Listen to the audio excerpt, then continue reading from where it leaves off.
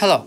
I often get messages from my YouTube subscribers about differences between royalty-free music and no copyright music. They also would like to know how to avoid copyright claims. People don't understand why they buy music on some sites for their projects, spend a lot of money on it, but still lose their monetization and get copyright claims. I've been selling my music online for the 7 years on different music platforms and I know the reason why it's happening and I'll try to explain it to you. First of all, royalty-free music sites do not prioritize your monetization. I can't speak for all the sites, but I can share with you my experience of how process of copyright removal works on large royalty-free music venues. Let's say you make a YouTube video and you need background music for it. You found a popular royalty-free music site and found a music that fits your needs. You post the video to YouTube and automatically lose monetization. You get a copyright claim.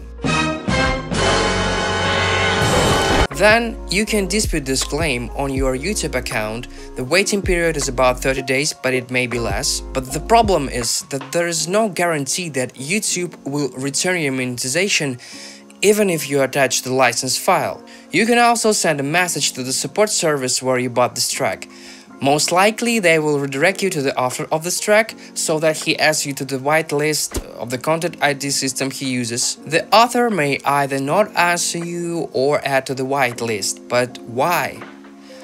The answer is that music creators get much more money from content ID systems than from selling music itself. It is more profitable to them to take your monetization from you than to return to you. The main problems of royalty-free music sites. They allow authors to use and control content ID system on their own, what is Content ID system? It's a music identificational system that allows track owners to control the use of their works in YouTube videos as well as receiving monetization from these videos.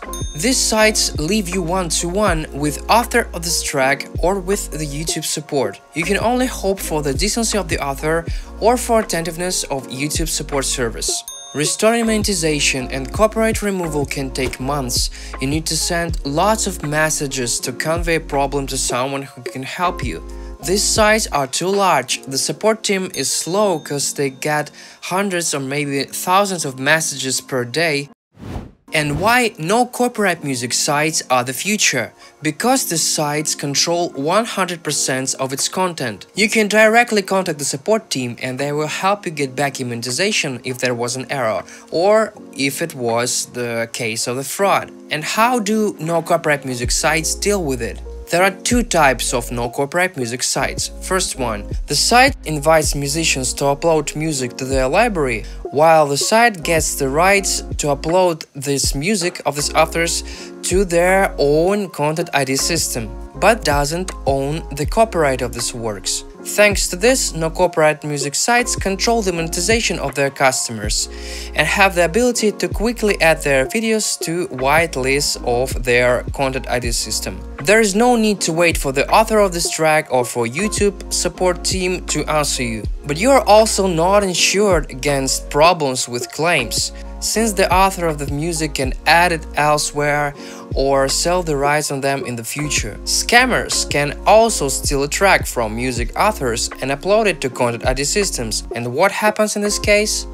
You will get a claim from the fraudster immediately, and you will have to write a message to the musician to block the scammer. But these sites work well and are more reliable. And the second type of no copyright music sites it's the system that we use on our platform with my friend Infraction.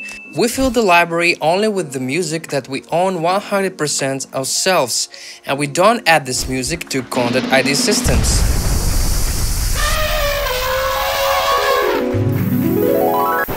Due to the fact that we own all the copyrights, we can block scammers and return monetization on our own. We always respond as quick as possible to errors or to the cases of fraud. The great advantage is that our music is hard to steal.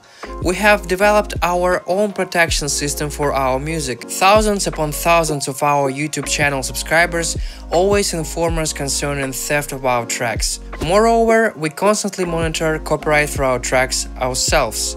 We have developed a strategy for quickly blocking fraudsters that hasn't failed in years. I'd like to say that in 2021, no copyright music sites are more safe than the classic old ones royalty-free music sites. You are never immune to YouTube content ID errors or fraud, Unfortunately, this is reality, but sites with no copyright music solves these problems much faster as well as more efficiently. For such sites, your monetization is number one priority, as they put your safety first. Thank you for attention, ask any question that you would like to ask, and welcome to our YouTube channels, and welcome to our platform, inaudio.org.